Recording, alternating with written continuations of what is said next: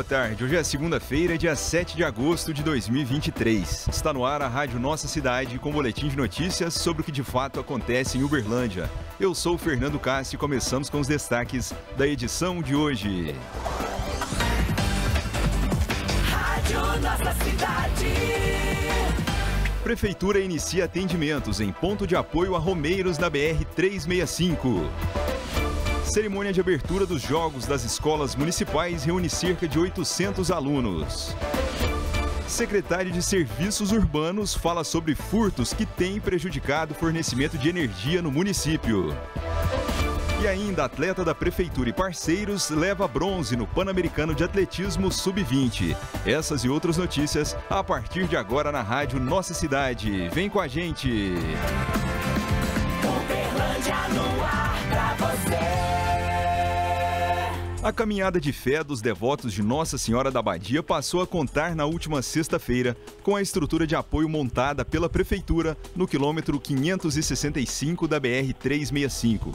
No local, os fiéis têm a oportunidade de descansar, alimentar-se e receber diversas assistências para continuar a peregrinação até o Santuário de Nossa Senhora da Abadia, na cidade vizinha de Romaria. A barraca da prefeitura, também conhecida como Barraca da Antena, é mantida pela Secretaria Municipal de Governo e Comunicação por meio da Diretoria de Operações e Manutenções, com apoio de várias secretarias municipais e ajuda de voluntários. Neste ano, uma novidade é a internet Wi-Fi grátis. O amplo espaço conta com cinco tendas que juntas somam 500 metros quadrados, energia elétrica, área para descanso e banheiros.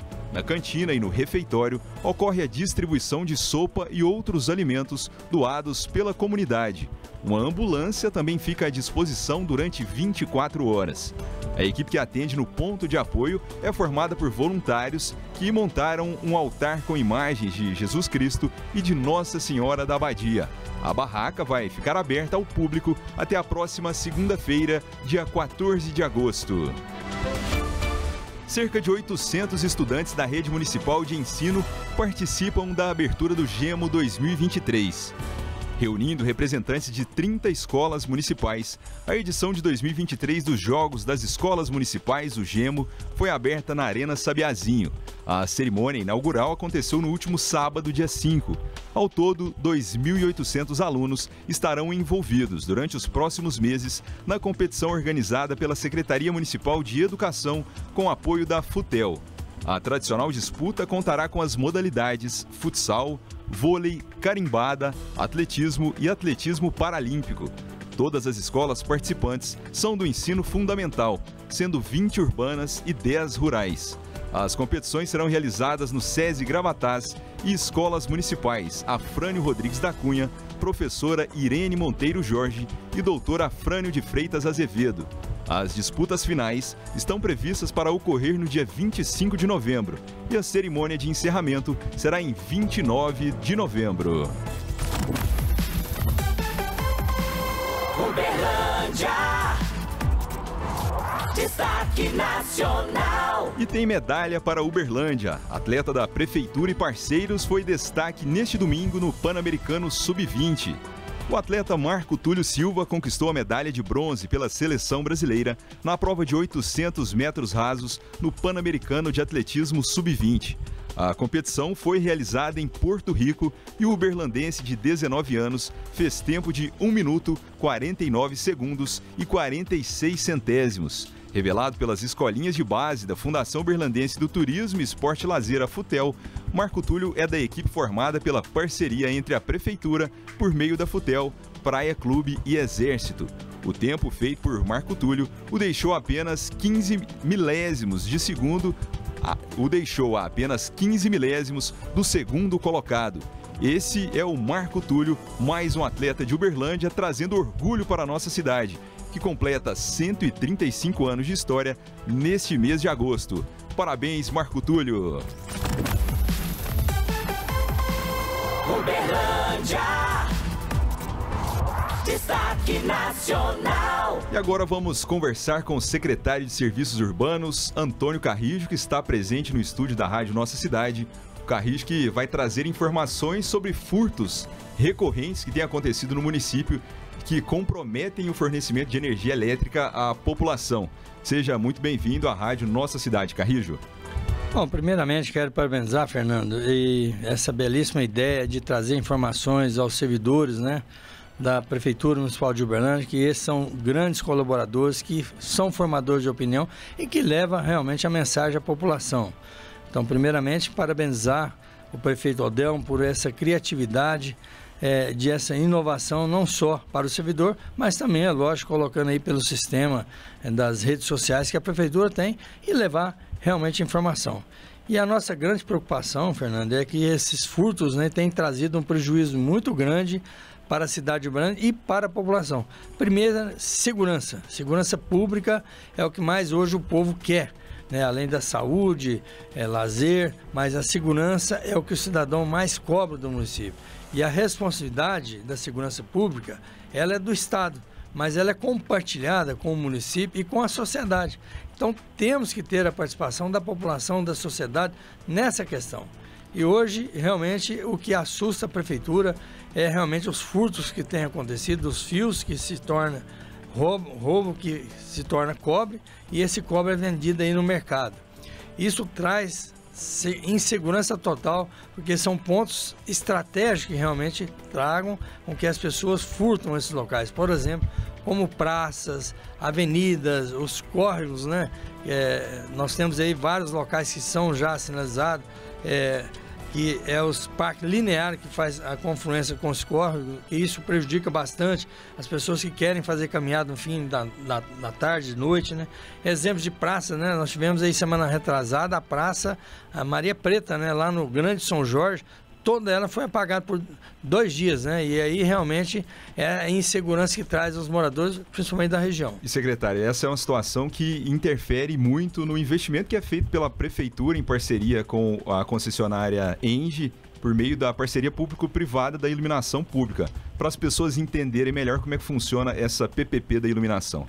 O prefeito Aldelmo sempre é um homem visionário quando há alguns anos atrás ele já pensava fazer a primeira parceria público-privada na cidade de Bernardo, nós tivemos a felicidade da primeira ser da iluminação pública, né? Uma iluminação que realmente traga segurança para a população e traga inovação. Então, quando o prefeito é, é, buscou essa inovação, ele fez realmente com que primeiramente a prefeitura pudesse ter, através da Secretaria de Serviços Humanos, uma economia na conta de energia que você paga. Que todo cidadão que tem a iluminação na sua casa, você paga a taxa de iluminação pública. E isso é voltado em benefício da população. Então, as lâmpadas que era vapor de sódio foram através dessa licitação pública, onde a prefeitura fez um chamamento e uma licitação que é, veio o Brasil inteiro até internacional. Nós tivemos uma, uma uma licitação que aconteceu aqui, uma empresa francesa ganhou a licitação aqui em Uberlândia, né? E muitas das, das vezes foi falar que era carta marcada. Tá aí o resultado. Uma, uma, uma licitação clara, transparente, como o governo Odemo sempre fez na sua vida. E essa parceria trouxe benefício imediatamente para a cidade de Uberlândia. Nós trocamos aí 87, 87 mil pontos de luz, trazendo vapor de sódio para vapor de LED, trazendo mais segurança e uma melhor iluminação. Isso fez com que a prefeitura pudesse buscar agora outras inovações, como, por exemplo, falta ainda iluminar os trevos da cidade de Bernardo, que o prefeito já determinou para melhorar a iluminação dos trevos. Isso, inclusive, é responsabilidade do DR e do DENIT. Mas a prefeitura vai substituir as lâmpadas hoje que é vapor é, de sódio para vapor de LED, trazendo mais segurança. E buscar também a modernização também ali da Avenida, da Avenida Minervina Cândido de Oliveira, aqui separando o bairro Ruas, Bom Jesus, que interliga ali o bairro Dona Zumira, Luizote, Jardim Patrícia, toda aquela região será iluminada agora, trocando vapor de, de, sódio, de sódio para LED, inclusive alguns postes que foram ali é, arrancados né, com a duplicação da BR, vai ser recomposto. Inclusive até ali próximo a Calu também existe um vazio ali escuro à noite que nós vamos sanar agora com essa troca de iluminação, determinação do prefeito Aldelmo. Secretário, desde o início dessa parceria são números que surpreendem, tanto positivamente, são mais de 87 mil pontos modernizados também implantados no município, e negativamente, já que pelo menos nos últimos 12 meses foram registrados 14 furtos que prejudicam o fornecimento de energia elétrica à população, né? É, nós passamos, inclusive, exigir da, eh, da ENGE, que é a parceira da prefeitura, que é responsável pela parceria público-privada, a partir de agora registrar todos os boletins. Por quê? Através disso nós temos condições de passar para a Polícia Militar, a Polícia Militar fazer o rastreamento para buscar quem são essas pessoas e que forma é vendido esse material no mercado. E isso, sem dúvida nenhuma, nós vamos buscar essa nova ideia de buscar é, o registro boletim e nós pedimos também à população que nos ajude a fiscalizar qualquer tipo de intercorrência que possa avisar no 190, que ligue imediatamente, pode, é, a denúncia pode ser anônima, possa fazer também reclamação no telefone da prefeitura, que é o telefone do SIM, 3239-2800, também no telefone que a ENGE tem, 24 horas, é o telefone 0800 006 1739. Ele pode fazer reclamação e a empresa tem até 48 horas para repor esse material, seja ele cabo, seja fio, seja lâmpada, o que foi. Porque hoje está sendo roubo, não é só do fio, nós estamos tendo roubo aí. São vários materiais. Né? Vários né? materiais. É, medidores, padrões, luminárias, enfim, é um vandalismo que não tem como explicar isso. Então nós precisamos realmente da população nos ajudar, vendo alguma coisa diferente na sua rua ou no equipamento da prefeitura, possa nos ajudar. Só assim vamos conseguir manter a cidade iluminada. E esse realmente é um detalhe importante. A população faz a denúncia para a polícia e ao mesmo tempo ela pode até solicitar a religação de energia em locais que foram comprometidos, ligando para a prefeitura municipal por meio do telefone do SIM que o senhor acabou de passar. É, secretário, fale também sobre o início da Operação Fio Seguro, que é uma iniciativa da Prefeitura em parceria com a Polícia Militar e Polícia Civil para combater é, essas ações, esses crimes e danos ao patrimônio público. Sim, sem dúvida nenhuma.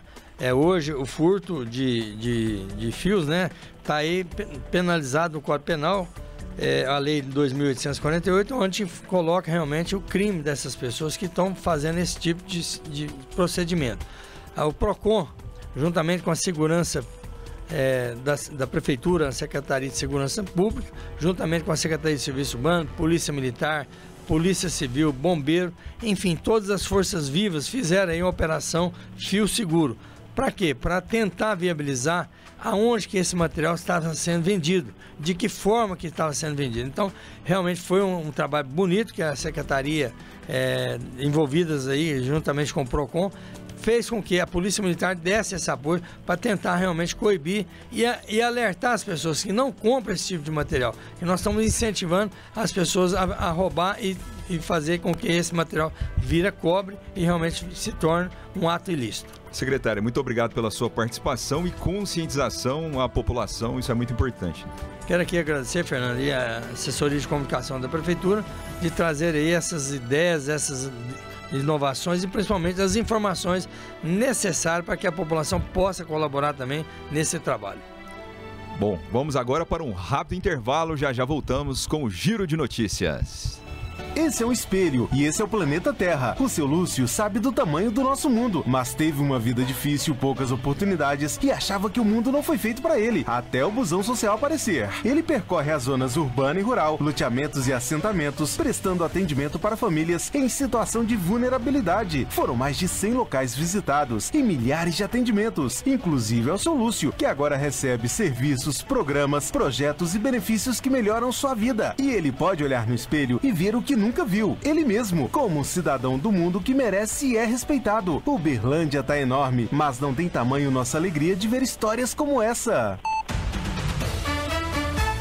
Giro de notícias.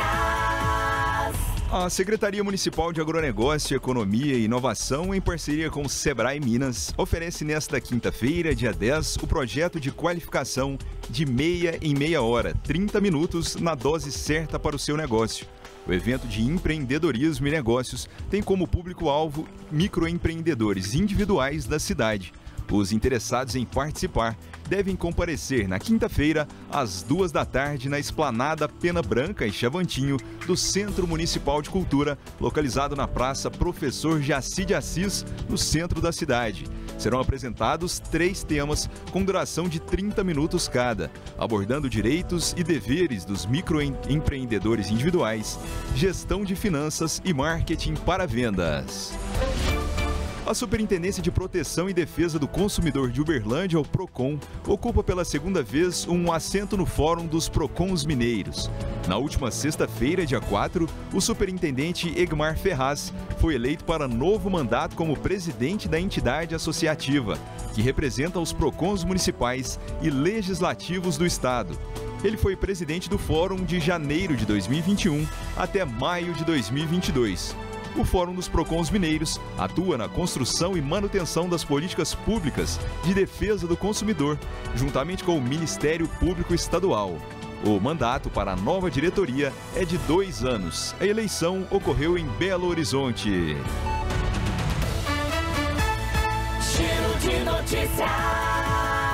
E a edição de hoje da Rádio Nossa Cidade fica por aqui. Obrigado pela sua audiência. Jornalista responsável pela edição Daniela Aires. Tradução em Libras Amanda Valentim. Responsável técnico Cristiano Silva. Secretário Municipal de Governo e Comunicação Marco Túlio de Castro Cariman. Prefeitura de Uberlândia. Fazer mais, fazer bem. Até a próxima. Fica por aqui mais uma edição do programa da Rádio Nossa Cidade. Continue conosco no portal da Prefeitura e nas redes sociais.